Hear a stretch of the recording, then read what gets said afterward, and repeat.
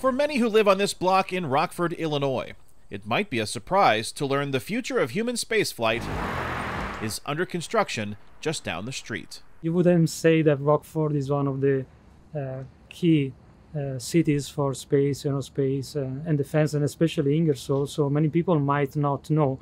But behind the walls of Ingersoll Machine Tools, work is underway to create critical components for NASA's effort to return astronauts to the moon and eventually to Mars. So this is the barrel section of Orion. So it's the central section of the pressure vessel. It's where the astronauts will uh, basically live and work and the only place they'll have to go while they're on this mission. The barrel is one of four components Ingersoll manufactures for the Orion Deep Space Capsule in NASA's Artemis program. The parts for the spacecraft, they come from all over the country. We employ thousands of people at over 900 suppliers, just like Ingersoll here across the country.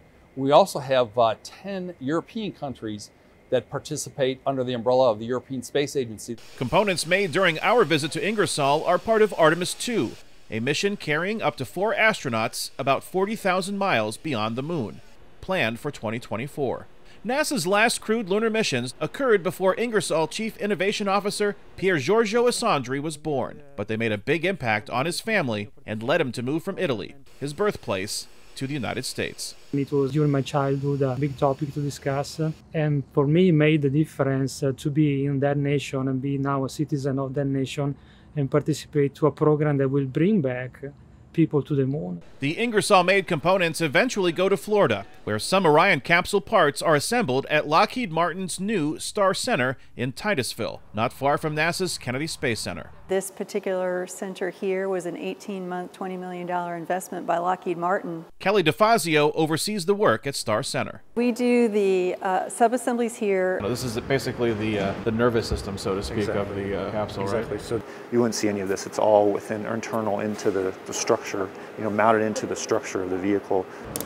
While activity at the Star Center during our visit was preparing for Artemis 2, work is already underway for future missions. Artemis 3 hardware will start build up here in the next few weeks. In addition to the, the cables that you saw feeding into Artemis 2, we also have the side hatch here and we're applying the TPS and that side hashes for Artemis 2 as well. So that launch is in uh, 2024. Beset by delays and cost overruns, NASA estimates that when the Artemis 2 crew orbits the moon in 2024, Orion capsule costs alone will top $13 billion. The total cost for the entire Artemis program is expected to reach $93 billion by the time astronauts step foot on the lunar surface, currently projected for 2025. Kane Farabaugh, VOA News, Kennedy Space Center, Florida.